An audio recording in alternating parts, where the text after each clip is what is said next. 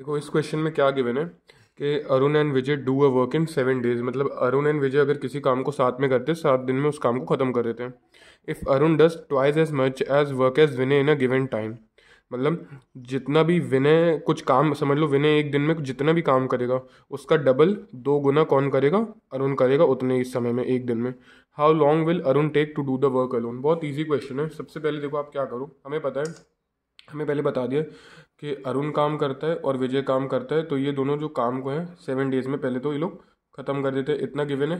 फिर हमें ये बोला गया है कि जितना भी Arun Arun does twice as much as work as Vinay ठीक है? तो अगर हम इनका एफिशिएंसी का रेशो मानना चाहे एफिशिएंसी का और अर्जुन का और विनय का, अगर विनय एक यूनिट का वर्क करेगा एक टाइम पे तो इसी समय पे अरुण कितना कर देगा? टू यूनिट्स ऑफ़ वर्क ठीक है? और अगर ये लोग साथ में काम करेंगे तो साथ में ये लोग कितना काम करेंगे? साथ में लोग काम करेंगे। थ्री यूनिट्स इतना समझ आ गया। अब हमें पता है कि अरुण और विजय साथ में कितने दिन तक काम करते हैं? सात दिन तक। हमारा फॉर्मूला तो यही होता है work is equals to efficiency into time हमें वर्क पता नहीं, लेकिन इन दोनों की साथ में एफिशिएंसी हमें बता दी गई है कितना है? थ्री यूनिट्स और कितने दिन के लिए काम कर रहे हैं? सेवन डेज़ के लिए। तो वर्क टोटल आ गया कितना?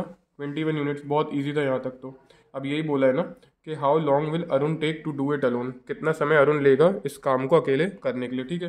फिर से वही अरुण की एफिशिएंसी कितनी है? टू यूनिट्स वही फॉर्मूला लगाओ। Work is equals to efficiency into time total work निकल के आया ट्वेंटी वन यूनिट्स और अरुण की अकेले एफिशिएंसी है टू यूनिट्स इनटू टाइम तो टाइम की वैल्यू यहाँ से आपकी आ जाएगी twenty one divided by two days या फिर आप इसको अगर डेसिमल में लिखना है तो टेन पॉइंट फाइव डेज़ ये आपका इस क्वेश्चन का आंसर हो गया। आप इसमें एफिशिएंसीज का रेशियो ऐसा मान के सॉल्व कर सकते हैं या फिर आप ऐसा भी इसको ले सकते थे कि इसकी एफिशिएंसी अगर एक्स हो गई, विजय इसकी विजय की तो अरुण की कितनी हो जाएगी? उसकी डबल टू एक्स तो ऐसे भी आपका आंसर बहुत ईजी आता।